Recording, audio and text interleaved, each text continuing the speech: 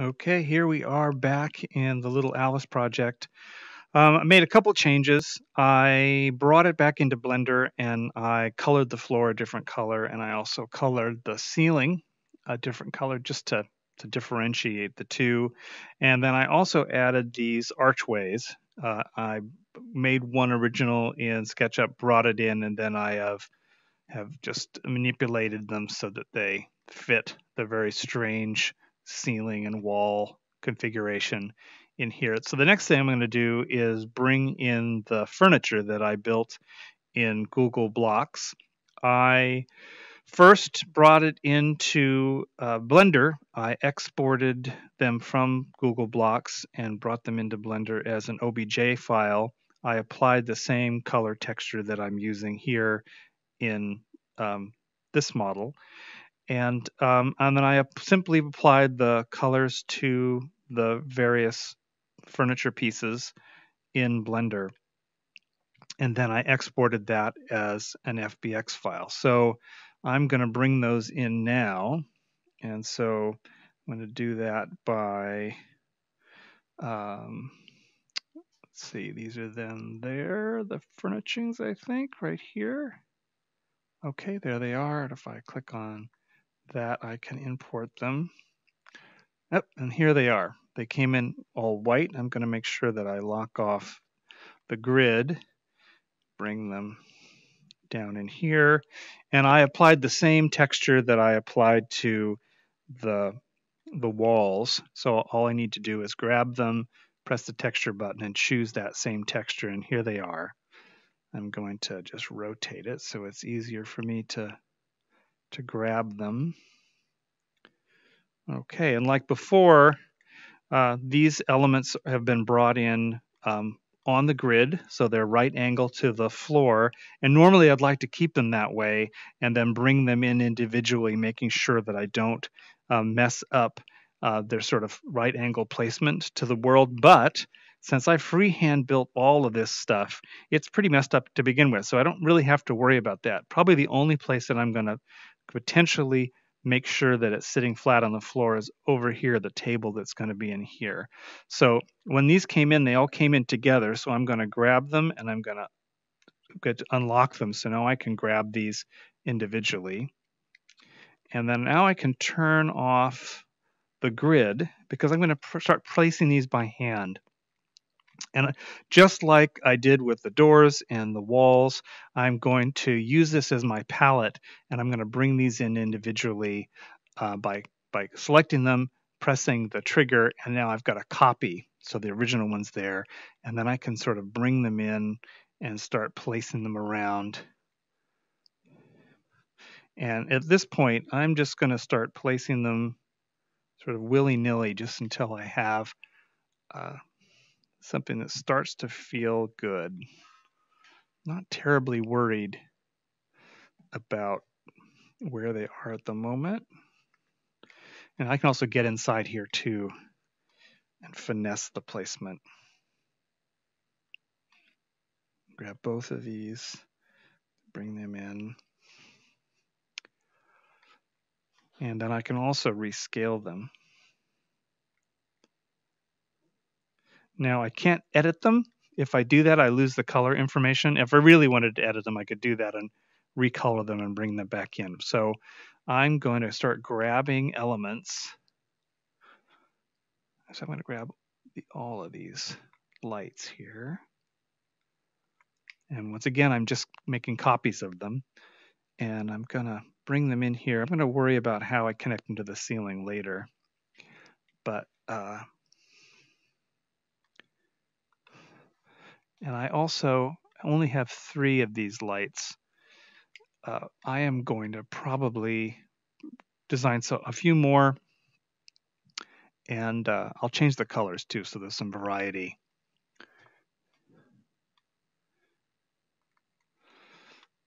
And I'm sort of sort of scaling these on the fly. I think once I get inside here I'll get a better idea.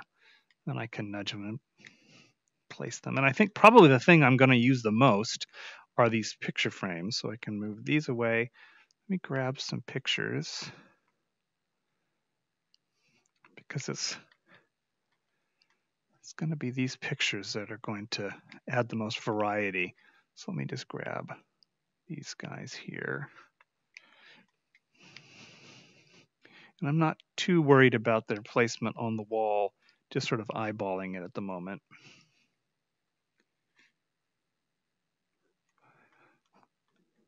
See. Grab these two.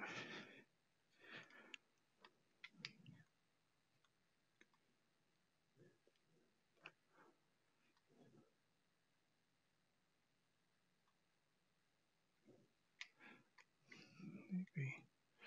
I have a feeling that I'm probably going to want a lot more variety soon enough. Okay, let's grab a couple chairs. Then I'll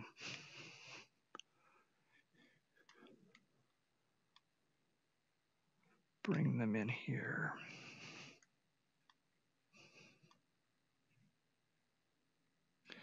And this very much like laying out a dollhouse I'm just gonna eyeball this stuff. I kind of already did that one. Grab one of these.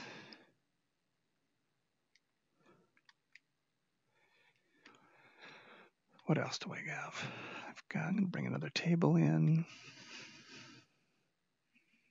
And I already can tell since I only have one table, I'm probably gonna wanna get some other varieties in here soon, sooner than later. Let's bring this teacup and saucer in. I think also I want some unique plants in here eventually. Okay, what else do I have? Uh, doo -doo -doo. Oh, cushion. Got to put a cushion in this chair.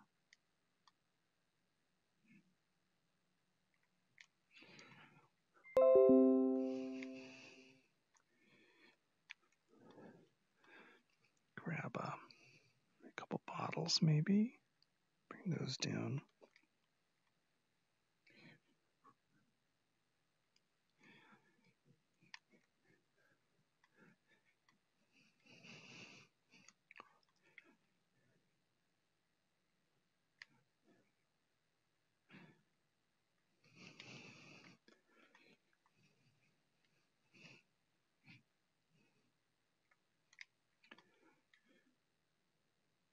Yeah, I can already tell I'm going to need a lot more things as I continue. Let's see, let me, I know I'm going to use this table right here. So let me put the lock on, grab this and move it down here. And I'm going to make it bigger.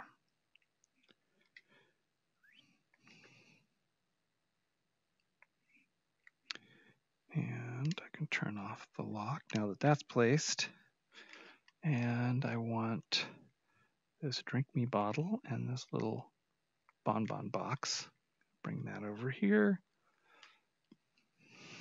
Drink me bottle goes right there. And this box goes under here. I think I'll make it a little bit smaller.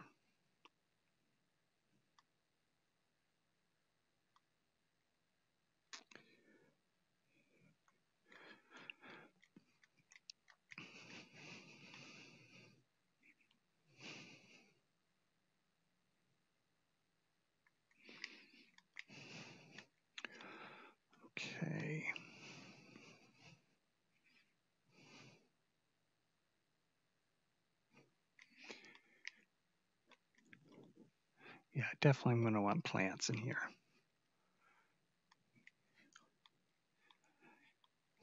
Uh, what else have I not used? Oops, I haven't used this guy.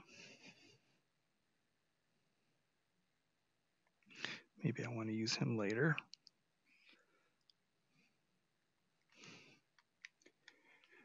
And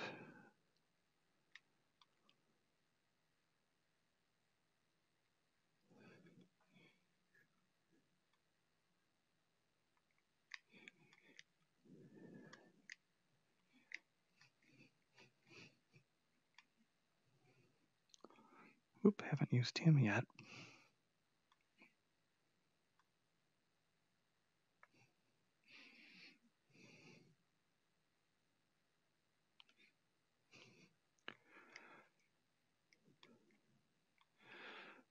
Okay.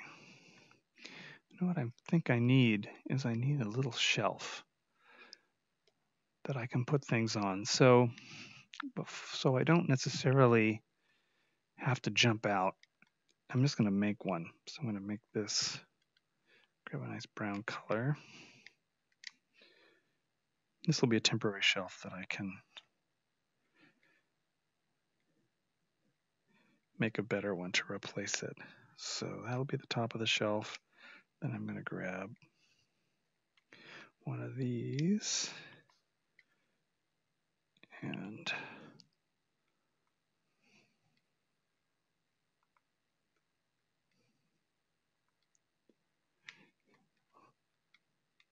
and this is quick and dirty.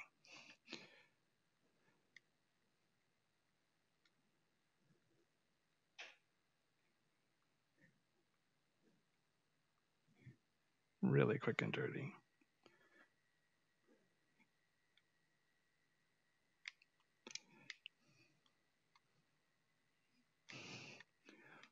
That's a little, could be fatter. Oops.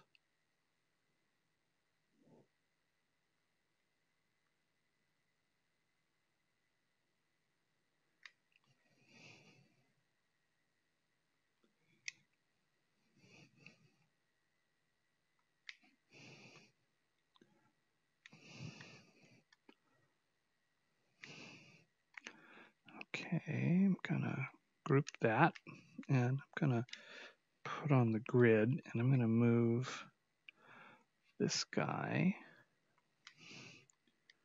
over here, scale it down a little bit.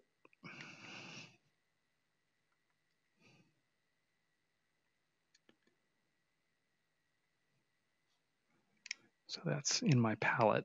I can come back to that later. Let me place some of these a few places. Let's say, is my grid off? Nope, turn the grid off.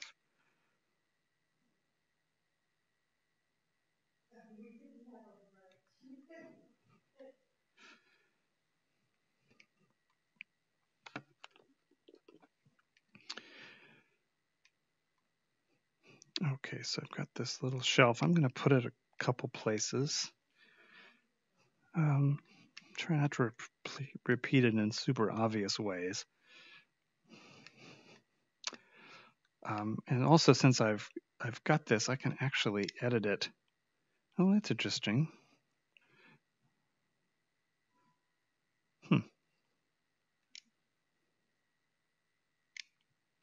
Oh, well, learn something new every day.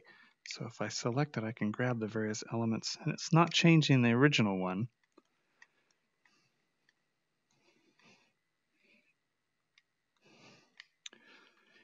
So let's grab, I've got a plate here, and I've got a candlestick. I have two candlesticks actually. So let me bring those down. Let's put one of the plates here with the candlestick. Grab. Go back and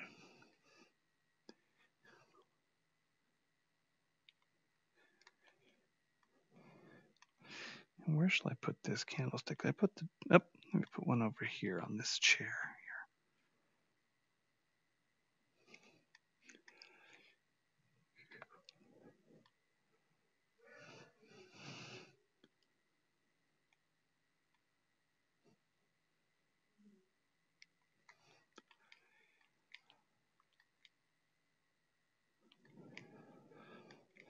here. And let's see. Um, um, um, um. I haven't used this spittoon anywhere. Where should I put that? As much as I want to cluster things, I've, I've got a limited number of objects. And there I was thinking I had all these objects to use. Let's put that here. what could I what could I put in that upper shelf there? Use these two. I can't use them again. Um, let me grab. I'm going to use this one here, and let me use that one again. I'm going to bring these over.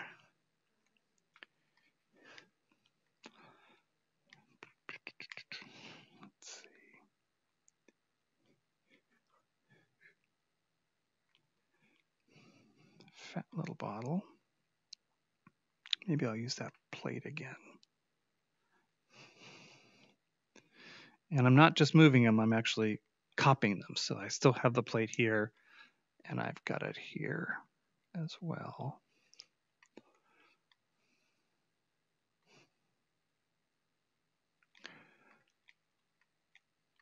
So that's starting to come together. Maybe I'll move this here. Not terribly worried about any rhyme or reason as to why I'm using what I'm using. I'm mostly doing it for feel. Same with these picture frames. I can come back later and texture in something else that goes with them.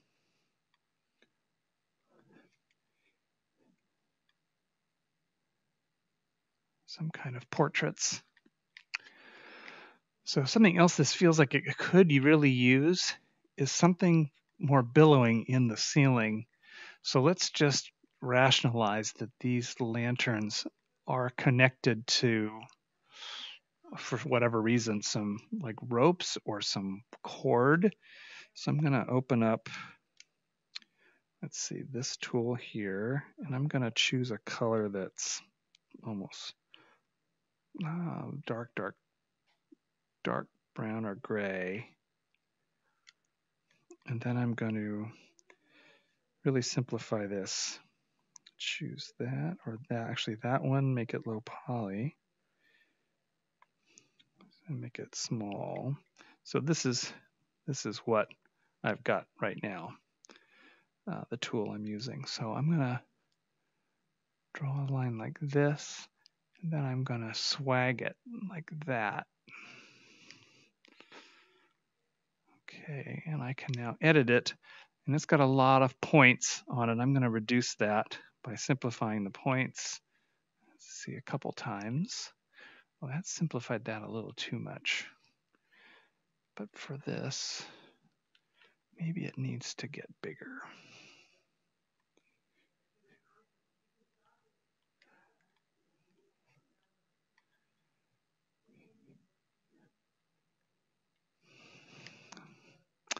That looks weird. Let me choose a different color, like maybe a red, dark red. And let me make, make this just a little bigger.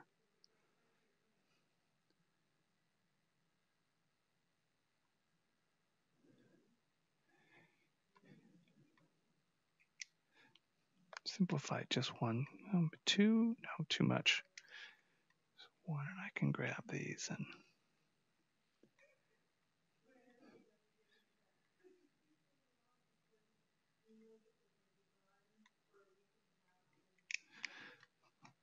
so that that looks nice. Just some more business up top. Do this and I'll attach this. Simplify you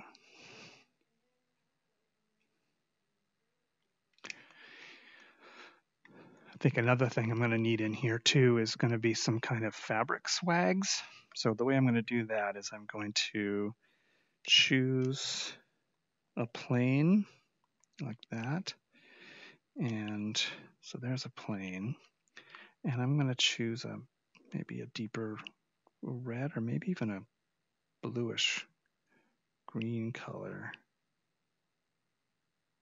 I can change that later if I want and I'm going to edit it.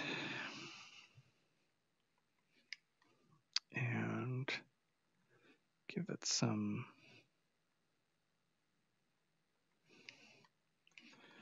see I'm going to grab tuck that in and that in and that in. Grab these guys. I think I need to segment it a little bit more, shrink it. And all I'm doing is I'm grabbing these points and reducing their size to create a swag.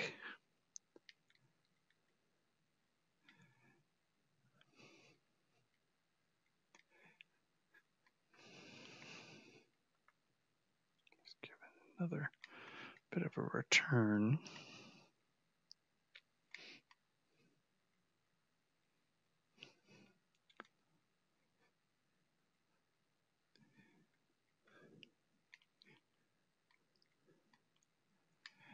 And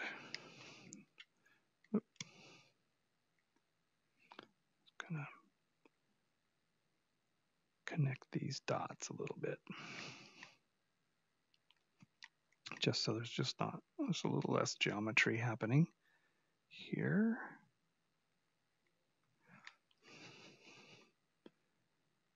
Then I can also soften this a little bit. That makes it a little softer.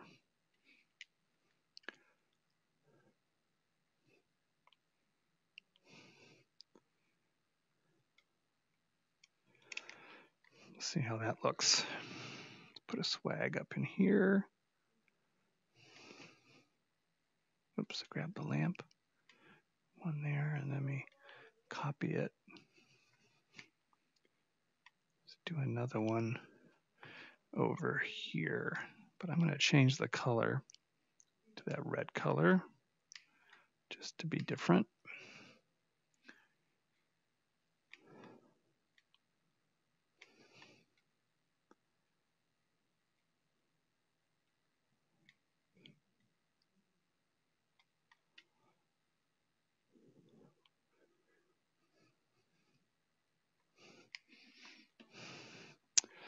So that's looking better. As you can see, I'm just eyeballing everything. Um, let's just make sure. Is there anything that I haven't used a couple times already? Um, let's use that cushion. Gosh, do I need more stuff? Okay, let's get down in here and just see what that looks like. So I'm down here at whoop, 100%. Get up a little bit bigger. Grab my teleporter thing. And I'm starting to sort of navigate my way through here. Drop down a little bit. Come on.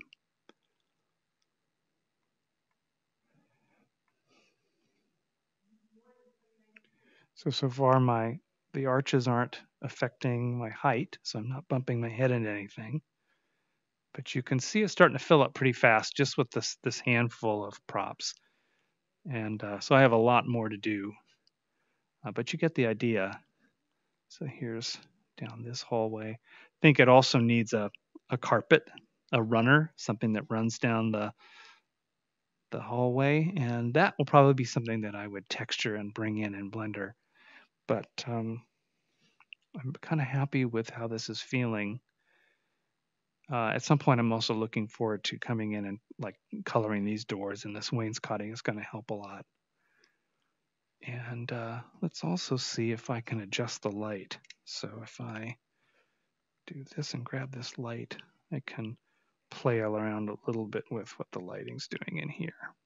It's all kind of exterior lighting, so uh, not until I get into another application like Enscape will I get a feeling like I'm the walls are really solid. But uh, for being in a tool that lets me just wander around, this is pretty pretty successful.